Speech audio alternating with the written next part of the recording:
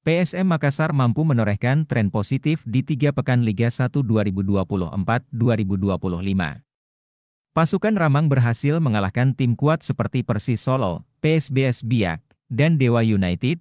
Torehan tersebut membuat PSM Makassar kini memimpin klasemen sementara Liga 1 dengan 9 poin. Namun PSM dibuntutui oleh Borneo FC Samarinda dengan koleksi poin sama. Tiga pertandingan di Liga 1 2024-2025, PSM Makassar kerap mengandalkan beberapa pemain. Sejumlah pemain ini sukses membayar kepercayaan sang pelatih, Bernardo Tavares. Siapa saja mereka? Nermin Haljeta, pemain asal Slovenia ini memang tidak bisa dianggap remeh. Dia menampilkan permainan atraktif dalam debutnya bermain di Liga 1 bersama PSM Makassar. Nermin Haljeta sejauh ini belum pernah absen mencetak gol di Liga 1. Empat gol dicetak Nermin saat PSM menang melawan Dewa United, Persis Solo dan PSBS Biak. Torehan gol tersebut sekaligus mengantar Nermin Haljeta memimpin deretan top skor sementara Liga 1. Torehan empat gol Nermin mengalahkan pemain asing yang lebih berpengalaman di Liga 1, seperti Gustavo Almeida, Persija Jakarta, dan Privat Mbarga, Bali United, yang baru mencetak tiga gol. Latir Vol, Latir Vol layak menjadi satu dari tiga pemain andalan PSM di Liga 1 2024-2025. Dia berhasil menunjukkan kapasitasnya sebagai pengatur serangan Juku Eja, gelandang asal Senegal itu bahkan telah mencatatkan dua assist bersama PSM. Teranyar Latir Vol memberikan assist untuk gol Abdul Rahman di injury time yang membawa PSM mengalahkan PSBS Biak. Yuran Fernandes, Kapten PSM Makassar ini punya pengaruh besar di tiga laga awal PSM musim ini. Yuran Fernandes menjadi jantung pertahanan PSM, selain bertugas sebagai bek tengah, pemain dengan tinggi 198 cm itu juga kerap naik membantu penyerangan. Terutama dari kreasi set PAC untuk duel bola atas, Yuran Fernandes bahkan sejauh ini tercatat telah menorehkan satu assist. Yakni saat memberikan assist untuk Nermin Haljeta ketika mengalahkan Persis Solo. PSM Makassar sejauh ini terlihat baik-baik saja meski sudah tidak lagi diperkuat sayuri bersaudara, Yakob dan Yance. Paling tidak dalam urusan produktivitas, karena 8 gol sudah dicetak dari tiga pertandingannya di Liga 1, PSM Makassar berhasil menyapu bersih tiga laga awal Liga 1 musim ini dengan kemenangan. Pertama menang 3-0 saat menjamu Persis Solo, berhasil mencuri poin penuh di markas PSBS Biak dengan skor 1-2, dan mengalahkan tim bertabur bintang sekelas Dewa United 3-1. 8 gol yang dicetak PSM itu diborong oleh Nermin Haljeta dengan 4 gol.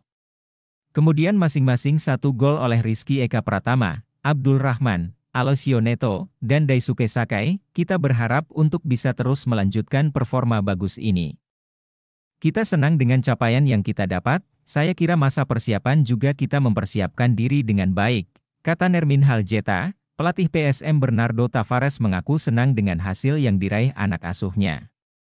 Namun, dia enggan jemawa karena persaingan musim ini masih sangat panjang. Saya senang dengan hasil ini kita mendapatkan tiga poin dan kita harus humble, rendah hati, ujar Bernardo. Diketahui, Sayuri bersaudara menjadi pemain andalan PSM sejak musim 2020. Keduanya masuk dalam tim inti asuhan Bernardo Tavares. Mereka berdua juga telah membawa PSM Makassar menjuarai Liga 1 musim 2022-2023. Namun musim ini, Yakob dan Yance hengkang ke Malut United yang juga bermain di Liga 1. Meski tanpa Yance dan Yakob, PSM menjadi tim yang memuncaki klasemen Liga 1 dengan meraih 9 poin. Sementara Malut United yang diperkuat Yakob dan Yance baru mengemas 3 poin dan menempati peringkat 10 klasemen sementara. Satu persatu, para pemain top PSM Makassar pergi di rentang setahun terakhir. Maka kini, era baru pasukan Ramang dimulai dengan para jebolan Ramang muda sebagai aktor-aktornya, teranyar, Yakob Sayuri dan Yance Sayuri berpisah dengan PSM Makassar. Sudah bermain sejak 2020, duo Sayuri menyelesaikan masa baktinya dengan bergabung ke Malut United. Kini, cuma tersisa Rashid Bakri dan M. Arfan sebagai pemain senior di PSM. Rashid sudah berseragam PSM sejak 2006, sedangkan M. Arfan sejak 2016. Dalam setahun terakhir, para pemain top PSM satu persatu pergi. Diawali dari Wiljan Pluim di akhir tahun 2023, Wiljan Pluim dianggap sudah menjadi legenda di PSM Makassar.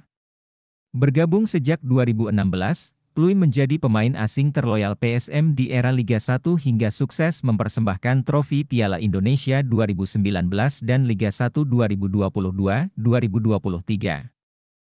Di waktu yang sama, Everton Nascimento juga pergi ke Nejmeh dan mengantarnya menjadi juara di Liga Lebanon. Lalu musim ini, Everton memperkuat Bali United, kemudian menyusul Kenzo Nambu yang juga hengkang ke Bali United.